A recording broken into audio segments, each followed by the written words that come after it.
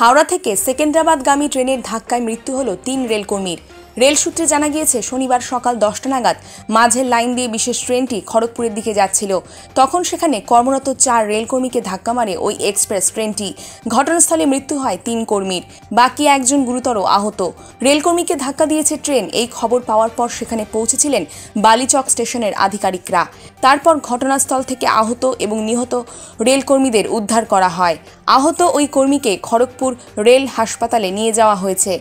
দুর্ঘটনার পর প্রায় পঁচিশ মিনিট দাঁড়িয়েছিল ওই এক্সপ্রেস ট্রেনটি। দক্ষিণ পূর্ব রেলের মুখ্য জনসংযোগ আধিকারিক সঞ্জয় ঘোষ বলেছেন, তিনজন গ্যাংম্যানের মৃত্যুর ঘটনা ঘটেছে। খুব দুঃখজনক ঘটনা, তদন্ত হবে। আইনানুগ ব্যবস্থা নেওয়া হবে। রেলের তরফে জানানো হয়েছে, নিহত রেলকর্মীদের নাম বাপি নায়েক, মানিক মণ্ডল এবং নৃপেন পাল আর আহত রেলকর্মীর নাম কিষান বেশরা ব্যুরো রিপোর্ট এগিয়ে বাংলা নিউজ।